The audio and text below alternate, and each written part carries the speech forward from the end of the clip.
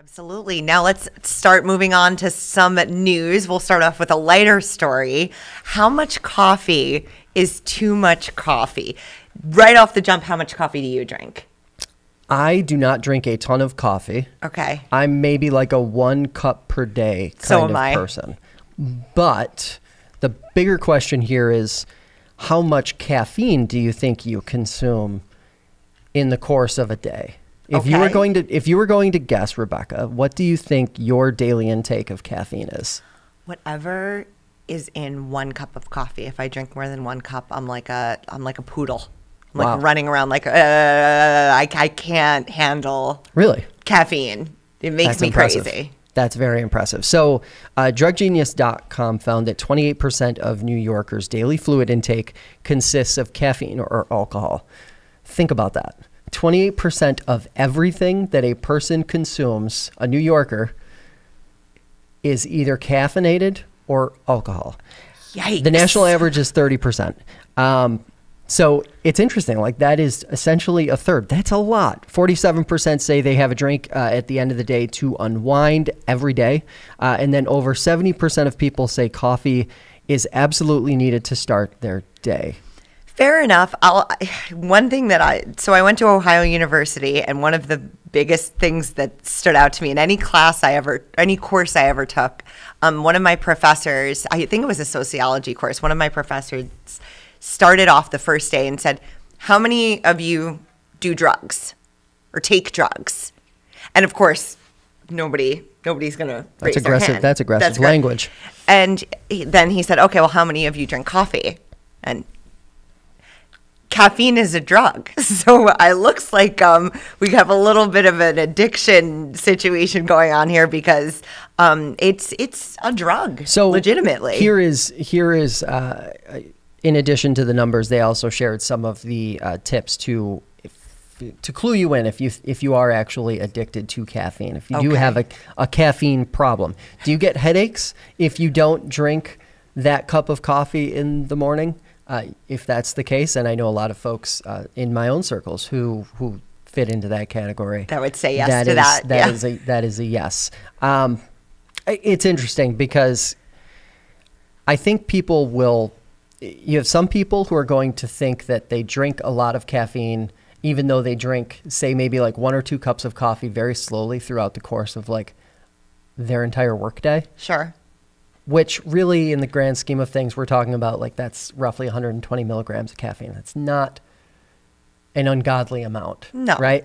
Um, but there are other folks, raise my hand on this one, um, who drink a Celsius first thing in the morning when I wake up to get the brain working so I can do what really I do. really looks forward to that Um, Celsius. it's a and then big deal. I'll usually have a coffee before I get on the road. oh, And then sometimes you will see me on this show drinking a Diet Pepsi. And there are more mornings than not that I am on my third caffeinated uh, beverage by 10 a.m. I don't know, 10 a.m.. Josh. Doesn't sound great.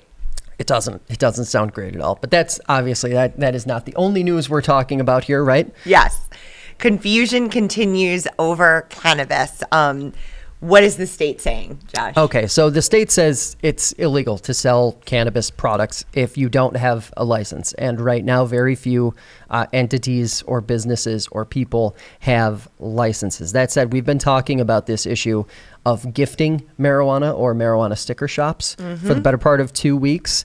Uh, we've got a legal battle playing out um, where uh, DA in Yates County is actually prosecuting uh, a group of individuals who were operating these quote unquote marijuana sticker shops.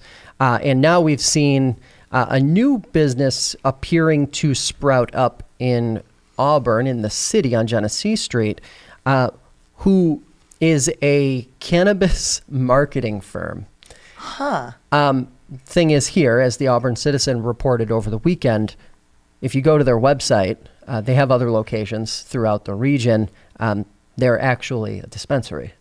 So, and by the way, all of all of these sort of ongoing issues, including lawmakers being split on whether uh, it, there is a loophole or not, or whether the state's guidance needs to be more strict. Uh, with all of that happening, we've also got uh, the state issuing guidance for marijuana delivery, cannabis delivery. That came out on Friday. So you've got all of this information, and what we've tried to do on the on fingerlakes1.com is create a little bit of a where do we stand right now. So everything that we know is in the top story on the homepage right now. It's very confusing, and I think um, until the state and we might see action on this in the beginning part of January when the session, when the legislative session begins in Okay. Albany. Um, until the state acts, I think we're going to see these businesses moving forward with their cannabis operations. One, because other people are doing it and they don't want to be left behind in the industry or lose out on market, local market share. Sure. Um, but also because there are lawmakers who say that this is a legitimate loophole. This is not a, a fluke thing where people are just saying there's a loophole when there isn't one. So um, we'll see what the what the state does with it. All right, stay on fingerlakes1.com. Uh, next story that we're taking a look at a search continues for a missing St. John Fisher student from Clifton Springs. Josh, what can you tell us about that? Yeah, so Ken DeLong, um, we talked about this a little bit, I think on Thursday. Ken DeLong hasn't been seen or heard from since uh, November 27th. He had a, a debit card transaction that showed up on December 3rd. He was last heard from uh, basically on the phone with his father, getting onto a train in France. Then after that, nothing. Um, nobody knows where he is. His abroad study ends uh, December 17th, so basically at the end of this week. Uh, and his visa expires in January. There was a rally or a uh, vigil and rally held over the weekend, a prayer service. Uh, family's holding out hope that he's okay, that he's going to come home safe, but uh, nobody's heard anything so far. And uh, law enforcement is asking for anyone who has information or may have an idea of where he may be um, to contact either the school or contact law enforcement here, and they're going to be able to relay that that information uh, over the Atlantic. Well, we certainly wish the best to the family.